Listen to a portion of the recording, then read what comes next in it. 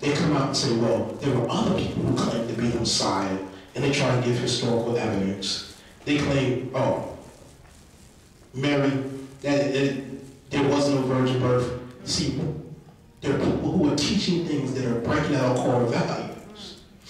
And we're arguing over a Christmas tree. Yes, yes, Lord. We've got preachers arguing back and forth on YouTube like they're two rappers battling on the corner.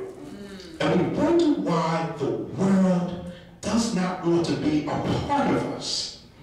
See, we argue over what Sunday communion should be on. We argue over should we all drink out of the same cup versus not.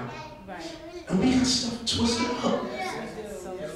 We talk about people instead of helping people. We focus on building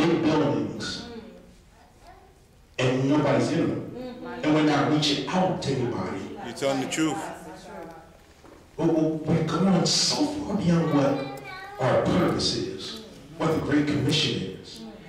We need to stop focusing on preaching to the same people who bounce from church to church to church, but focus on reaching out to other people. But the thing is, if we don't live our life right Monday through Saturday, nobody wants to hear about coming to your church, coming to your program, watching your DVD or listening to your tape.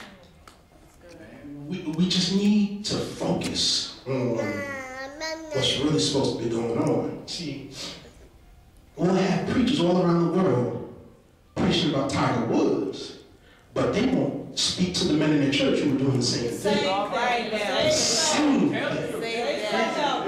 That's the truth. See, we, we, I know that's well, the pastor or the elders and the deacons doing the same thing. We can't talk about athletes having all these kids when you've got preachers with just as many kids out of wedlock.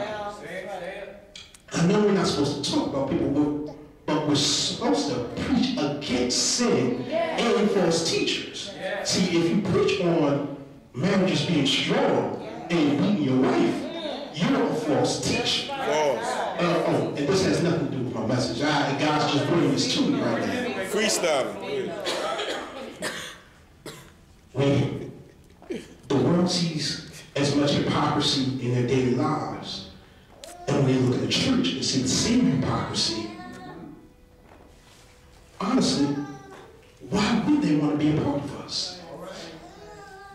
And we say, okay, well, they should look beyond that. Well, if we don't look beyond it, how can we expect them to look beyond? We need to focus on exactly what God has for us to do. I'm going to be coming from some very familiar scriptures. My basis will be out of the second chapter of Matthew.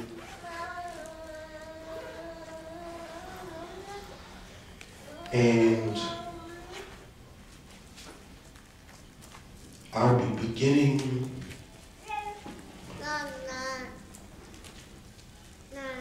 actually beginning at the, at the very first verse. And I'm not even going to play and put my glasses back on. I'll be reading out of the New King James Version. And it reads as such. Now after Jesus was born in Bethlehem of Judea, in the days of Herod the king, behold, three men, wise men from the east, came to Jerusalem, saying, Where is he who had been born king of the Jews? We have seen his star in the east, and have come to worship him. When Herod the king heard this, he was troubled, and all Jerusalem with him.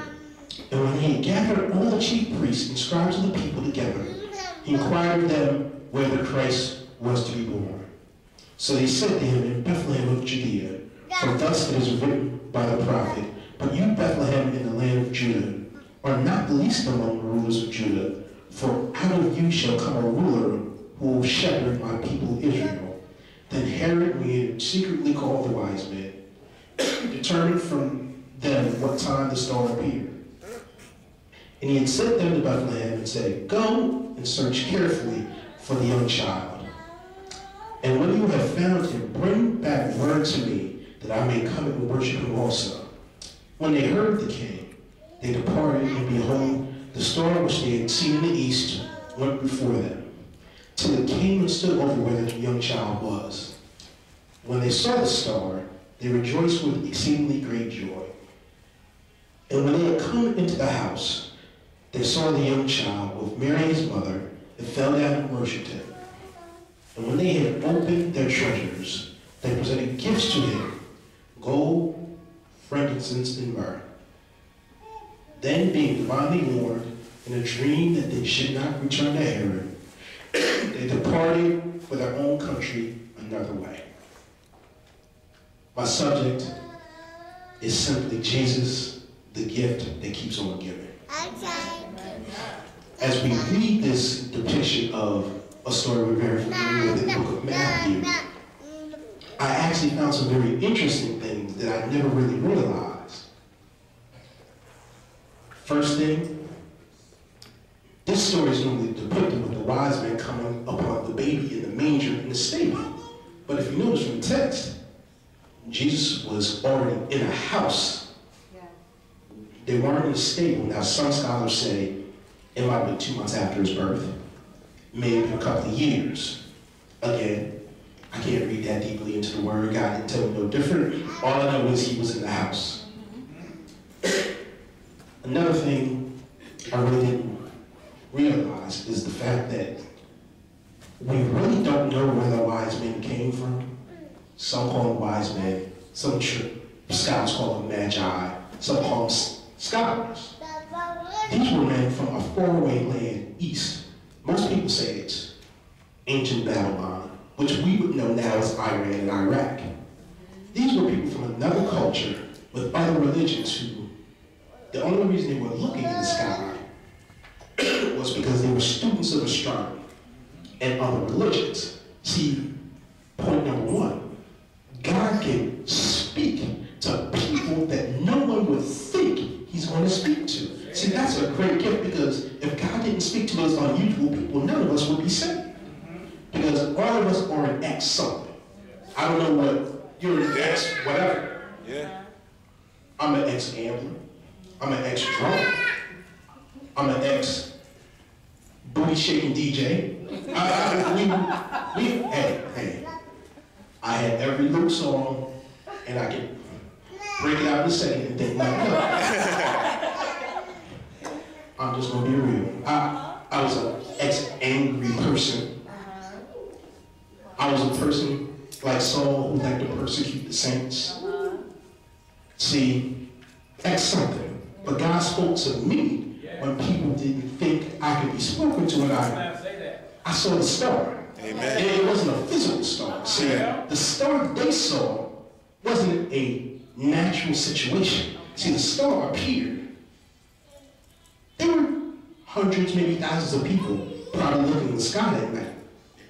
But God showed those three wise men and led them. Most people say that journey took them a couple of years to get from where they were to where they needed to be. It doesn't matter how long it takes you to get to where God has for you to be. Amen. You just need to keep on going for the journey. See, Yes, that's sir. the gift in itself that God doesn't determine, doesn't stop you. Just because your journey may take a while. See, some of our journeys to salvation and deliverance and sanctification has taken time. We've had ups and downs along the way, but the gift of grace Yeah. is something that none of us should ever take for granted. Amen. Because if it wasn't for grace, again, most of us wouldn't be here.